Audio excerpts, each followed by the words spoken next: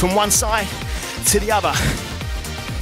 Get a little bit lower, then drive out. Last five seconds. Then we're gonna twist. We might even shout. Twist it. Hover the foot if you can. Come on. Push your body. Take your body somewhere it's never been before.